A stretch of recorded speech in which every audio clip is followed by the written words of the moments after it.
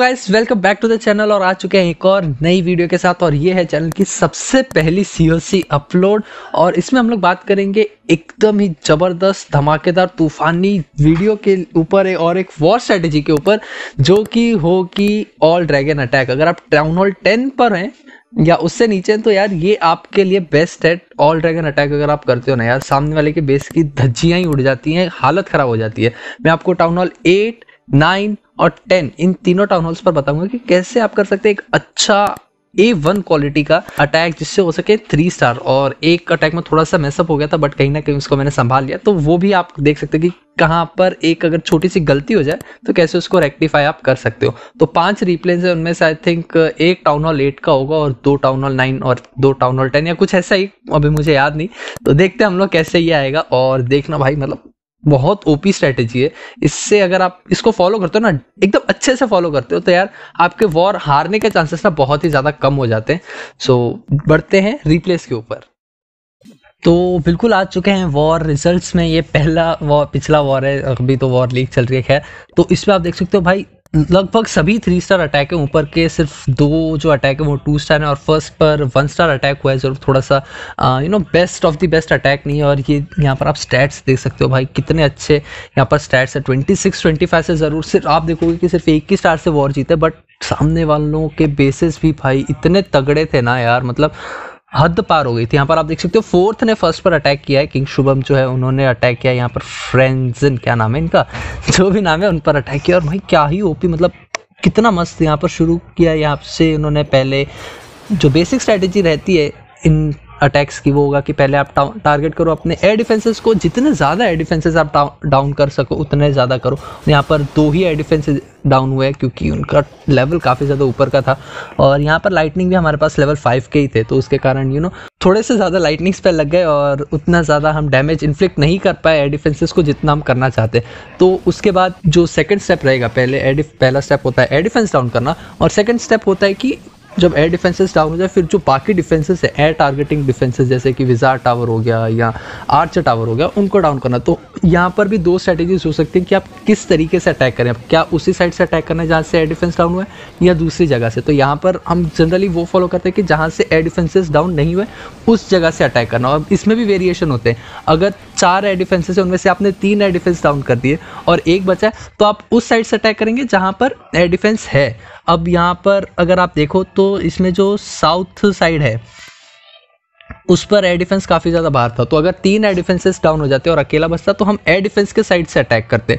तो वो तो यहाँ पर खैर पॉसिबल नहीं हुआ। एयर डिफेंसेस में से सिर्फ़ दो ही डाउन हुए और दो बाकी थे और एक ईगल आर्टिलरी भी थी। तो हमारा मेन कंटेंशन था कि पहले ईगल आर्टिलरी को डाउन किया जाए, क्योंकि अगर ज़्यादा हमने ट्रूप्स डिप्लॉय कर दी जो इसकी लिमिट होती है आई डोंट एग्जैक्टली रिमेंबर जो एक लिमिट होती है ईगल आर्टिलरी की, कि इतने आप डिप्लॉय कर दो ट्रूप्स और उसके बाद अगर ईगल आर्टिलरी एक्टिव हो जाती तो हमारे जो ड्रैगन्स थे, वो कहीं ना कहीं काफ़ी ज़्यादा डैमेज पिकअप करते और वैल्यू उतनी नहीं निकाल पाते जितनी हम एक्सपेक्ट करते हैं। तो चलिए कंटिन्यू करते हैं अटैक को और देख सकते हैं कि भाई, इस ईगल आर्टिलरी को डाउन करने के लिए कितनी ज़्यादा मेहनत और मशक्क़त करनी पड़ी। दो ड्रैगन्स जो है वो शहीद हो गए। तो इसलिए पहला हमारा था कि जो हमारे ट्रूप्स को काफ़ी ज़्यादा डैमेज कर सकते हैं, उनको हम डाउन करेंगे। और उसमें आप देख सकते हो ईगल आर्टिलरी को डाउन करने की हमारी कोशिश जो है वो काफ़ी अच्छी चल रही है।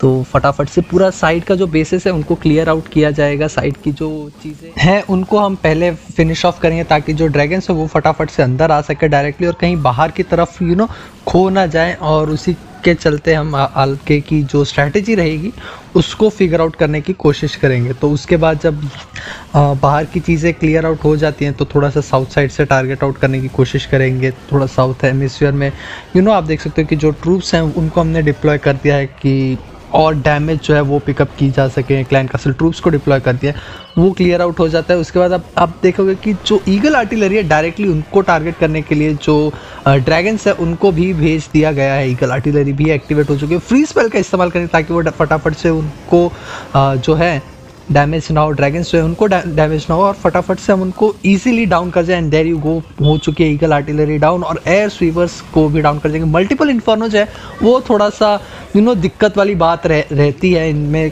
बट मल्टीपल टारगेट्स की उतनी ज़्यादा डैमेज नहीं होती जितनी सिंगल टारगेट्स की होती है। तो कहीं ना कहीं उनको तो ईजिली डाउन कर लिया बट जो सिंगल टारगेट इन्फर्नो है ना भाई साहब उसने लंका लगा दी हमारी।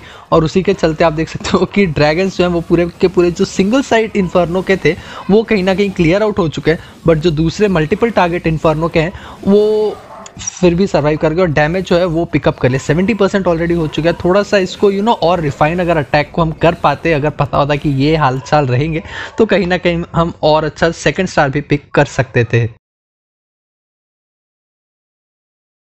चलते हैं सेकंड अटैक के ऊपर जो कि मैंने खुद ने किया है और आप यहाँ पर देख सकते हो कि डायरेक्टली हम टारगेट कर रहे हैं एयर डिफेंस को और यहाँ पर आप देख सकते हो कि स्टार्ट टाइम ऑलमोस्ट दो मिनट के आसपास था तो सिर्फ़ दो मिनट में पूरा का पूरा टाउन हॉल टेन जो बेस है ऑलमोस्ट मैक्सड आउट है वो हम क्लियर आउट कर जाएँगे पहले हमने सभी जो एयर डिफेंसेस है उनको डाउन कर दिया। नॉर्थ साइड से फिर हम और यू नो किंग को लेके आते हैं थोड़ा सा और जो चीज़ें हैं थोड़ी एक्स्ट्रा डैमेज इन्फ्लिक करने के लिए। नॉर्थ साइड पर इसलिए मैंने चुना कि जो आ, आप देख सकते हो कि आपका जो है क्या कहते हैं, उनको क्लैन कासिल ट्रूप्स वो निकालने थे।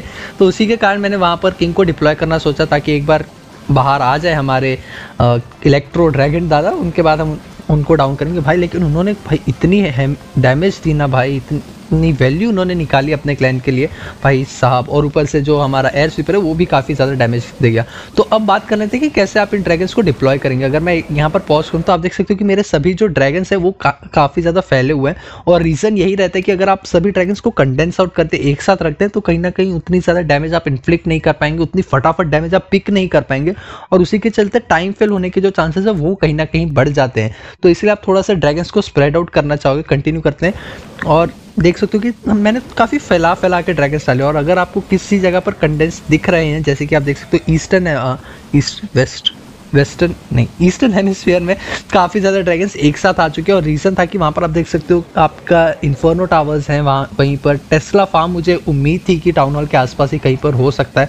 तो वो भी वहीं पर था एक्सपोज भी वहीं पर थी और इनफैक्ट टाउन हॉल भी वहीं पर था।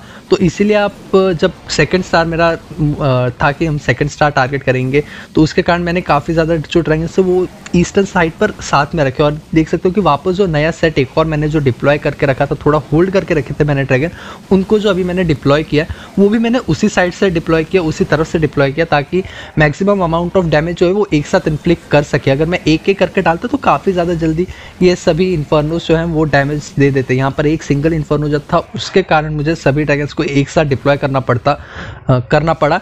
अगर दोनों ही इन्फर्नोस मल्टीपल टारगेट्स होते तो मैं और ज़्यादा स्पेसिंग करके रख सकता था। यहाँ पर सेकेंड जो अटैक हुआ है, वो two star sixty seven percent attack हुआ है। सो दैट इज़ इट चलिए चलते हैं थर्ड अटैक के ऊपर और एक अटैक मैंने बीच में मिस किया क्योंकि वो कहीं ना कहीं क्वीन वॉक था और इससे पहले मैं बता सकूँ शुभम को कि नहीं यार, हम ऑल ड्रैगन अटैक करते हैं। एक अच्छा कंटेंट मिल जाएगा, उससे पहले ही उन्होंने कर दिया था क्वीन वॉक तो इसलिए हम उस अटैक को स्किप करेंगे। और ये वाला भी आप जो अटैक देख सकते हो, ये मेरी तरफ़ से किया गया था और ये टाउन हॉल नाइन पर था। तो एज यूजल पहले हमने सारे एयर डिफेंसेस तोड़े, उसके बाद हम देखेंगे कि किस तरीके से हम ज़्यादा वैल्यू निकाल सकते हैं। यहाँ पर मैं साउथ साइड पर करता तो ऑब्वियसली टाउन हॉल काफ़ी ज़्यादा जल्दी चले जाता बट कहीं ना कहीं जब तक मैं टाउन हॉल के पास में पहुँचता, मेरे काफ़ी ज़्यादा ड्रैगन्स मर चुके होते और उसी के कारण मैं जो टाउन हॉल टाउन हॉल कह रहा हूँ। क्लैन कासल के अंदर से ट्रूप्स निकलेंगे मैं उनको उतनी डैमेज नहीं दे पाता और उनको शायद से फिनिश भी नहीं कर पाता। इसलिए मेरा कंटेंशन था कि हम नॉर्थ साइड से अटैक करेंगे वापस ही क्योंकि जो आ, हमारा क्लैन कासल है उसके अंदर से हम ट्रूप्स निकालना चाहेंगे और हमने उसी के लिए कोशिश किया। नॉर्थ साइड से अटैक करने की कोशिश की। यहाँ पर आप देख सकते हो कि फटाफट से चीज़ें जो है वो डैमेज करनी शुरू हो गई। And there comes the electro dragon electro dragon आ चुका है बाहर और हमने अपने छह ड्रैगन्स जो मेरे पास थे और एक टाउन हॉल टाउन हॉल बार बार टाउन हॉल क्यों कह रहा हूँ क्लैन कासल को। तो क्लैन कासल के अंदर से भी एक और निकलेगा। तो सात मैंने ड्रैगन होल्ड करके रखे थे तो उनको मैंने डिप्लॉय किया। अभी भी आप देख सकते हो कि चार ड्रैगन मैंने होल्ड करके रखे। मुझे देखना था कि कितने ड्रैगन्स यहाँ पर लगेंगे। मैं मिनिमम से मिनिमम ड्रैगन्स जो है, वो स्पेयर कर करना चाहता था उस इलेक्ट्रो ड्रैगन को डाउन करने के लिए। और जैसे ही वो चीज़ हो जाती है, मैं और ड्रैगन्स जो है, वो साउथ साइड से डिप्लॉय कर देता हूँ ताकि मैक्सिमम अमाउंट ऑफ़ डैमेज है, वो कम टाइम में इन्फ्लिक्ट हो सके और टाइम फेल जो है, वो ना हो पाए। और इसी के कारण आप देख सकते हो टेस्ला फार्म भी आ चुके हैं, क्योंकि फिफ्टी परसेंट के ऊपर हम डैमेज जैसे ही कर देते हैं, सभी टेस्लास बाहर आ जाते हैं। There goes the queen queen भी होगी, अभी थोड़े से एयर डिफेंसेस जो है, वो थोड़े से चिंताजनक बात थी, मुझे पता नहीं था कि air defence air defence air sweeper कितना ज़्यादा समय लेंगे, क्योंकि एयर स्वीपर जो पावर है ना भाई, बहुत ज़्यादा आई थिंक 1.5 या टू टाइल्स डिस्टेंस जो है, वो पुश है। उसके ऊपर ही यार तीन टाइल का शायद डिस्टेंस है। तो वो थोड़ा सा मुझे घबराहट सी हो रही थी। मैं देख रहा हूँ कि यार वो टूट नहीं रहा, टूट नहीं रहा बट कहीं ना कहीं हमारा किंग आ जाता है और उसको डाउन कर जाता है। आप देख सकते हो कि इस आर्मी में भी मेरे पास क्वीन नहीं है, क्योंकि ज़्यादातर मेरी जो क्वीन है वो अपग्रेड पर रहती है फोर्टी लेवल पर लेके जाना है भाई। बहुत बड़ा एक जोखिम है फोर्टी लेवल तक क्वीन को अपग्रेड करना। And goes it three star एक और थ्री स्टार तो चलते अगले अटैक के ऊपर। ये वाला अटैक किया है मैंने मेरे अपने सेकेंडरी अकाउंट के साथ और इसमें भी आप देखोगे पहले किया हमने एयर डिफेंस डाउन और उसके हो जा डाउन ओके और उसके बाद किया हमने मोटार को डाउन बिल्कुल मोटार को डाउन और मुझे भी नहीं पता क्यों गया था। और यही वो मैसअप है जो मैं बात कर रहा था।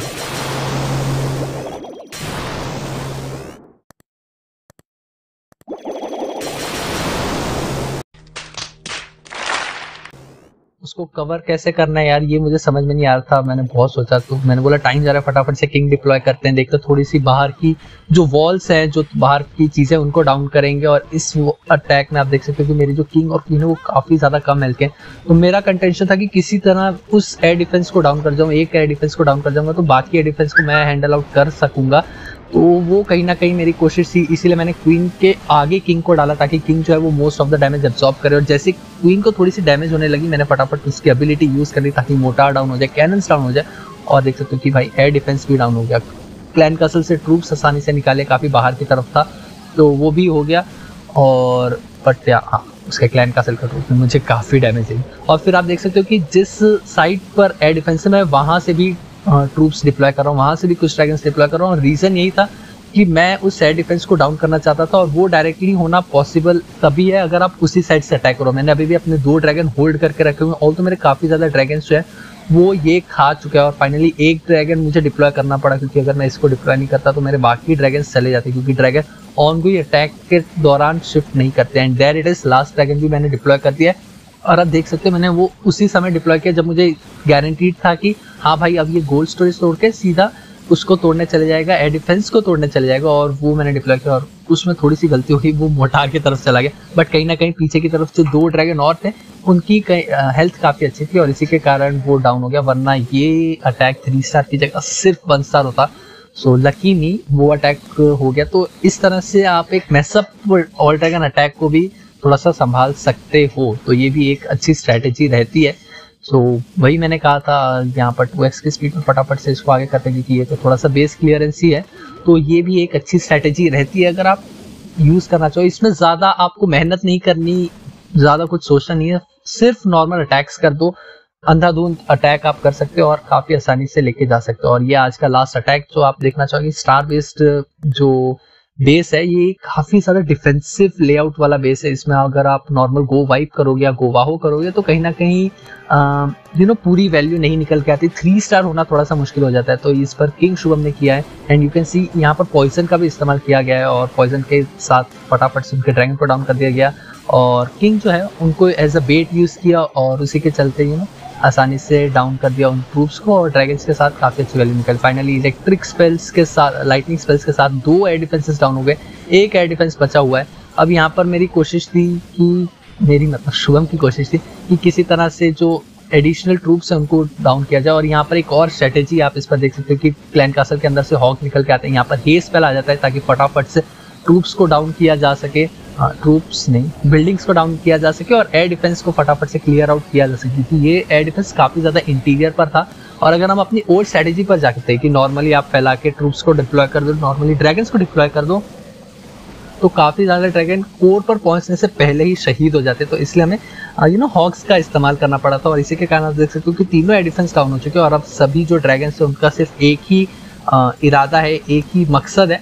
क्लियर द बेस आउट और यहाँ पर भी ये थोड़ा सा स्पेल फैक्ट्री अगर आप देखो टाइमर के नीचे तो वो क्लियर नहीं हुआ। तो ऑल ड्रैगन अटैक में कुछ खामियाँ ज़रूर हैं कि ड्रैगन कई बार कुछ ज़रूरी चीज़ें मिस आउट कर जाते हैं। बट कहीं ना कहीं उनका फ़ायदा भी है कि आपको ज़्यादा सोचना नहीं पड़ता एक अटैक करने से पहले। आपको पता है कि सिर्फ़ एयर डिफेंसेस को डाउन करना है, उनके बाद आप नॉर्मली कैसे भी अटैक कर सकते हो। जब तक एयर डिफेंस डाउन नहीं होता हाँ तब तक आपको सोचना है कि कैसे इसको कैरी फॉरवर्ड करना है। और उसको थोड़ा सा करना थोड़ा सा मुश्किल हो जाता है। उसको प्लान आउट करना मुश्किल हो जाता है जब आपका हाथ इस अटैक पर बैठा नहीं हो। But as compare to other Lal other attacks like लालो या क्वीन वॉक या हाइब्रिड जो भी आप कहना चाहो, और फिर गो वाइप या गोवा हो ये काफ़ी ज़्यादा आसान है। बट हाँ ये मैं सजेस्ट सिर्फ़ वॉर में ही करूँगा। फ़ार्मिंग बेस पर इनको ट्राई मत करिएगा। काफ़ी हैवी अटैक्स हैं, काफ़ी ज़्यादा एलिक्सर चले जाते हैं। So it is not recommended for farming अगर आप फ़ार्मिंग पर चाहेंगे तो उसके ऊपर भी एक मैं अच्छी आपको स्ट्रेटेजी बता दूँगा अलग अलग टाउन हॉल्स के लिए। सो आप अगर चाहो तो कमेंट्स पर लिख सकते हो कि फ़ार्मिंग के लिए भी आपको अच्छी स्ट्रेटेजी बताऊँ मैं। So bye guys have a nice day और अगर अच्छी लगी हो वीडियो तो प्लीज़ लाइक कर देना और कमेंट्स में ज़रूर बता देना अगली क्लैश ऑफ़ क्लैंस की वीडियो किस टॉपिक पर बनाई जाए। सो बाय